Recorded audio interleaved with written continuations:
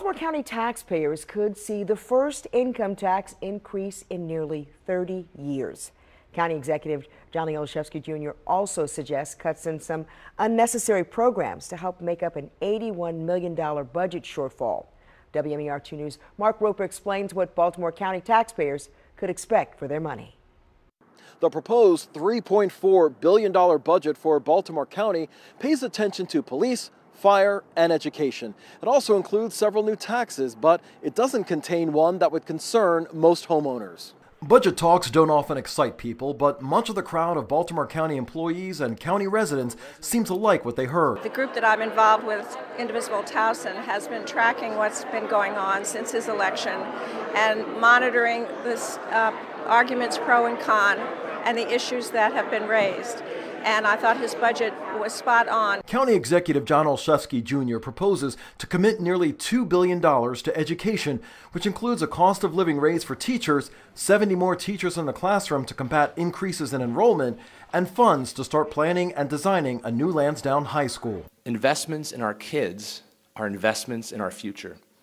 This budget proposes historic investments in education.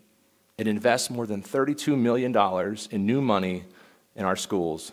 Several county police and fire personnel could be spotted in the room, eager to hear how the budget proposal could affect them.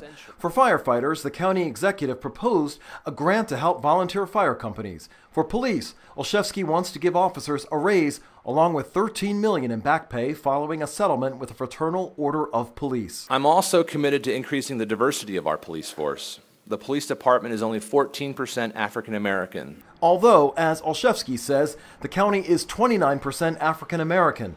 He also wants women to be represented among the executive command staff, as currently there are none.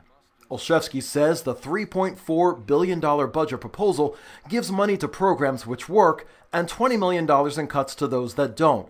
To make up the difference in the deficit, taxpayers could see an income tax increase, a $3.50 monthly cell phone fee, and a 1% cable fee. There was no increase to the property tax, which would be more uh, regressive and more impactful on people who could least afford it. It addresses the deficit and it puts us on firm footing both for uh, this fiscal year, but it also provides um, us a path forward. In Towson, Mark Roper, WMAR 2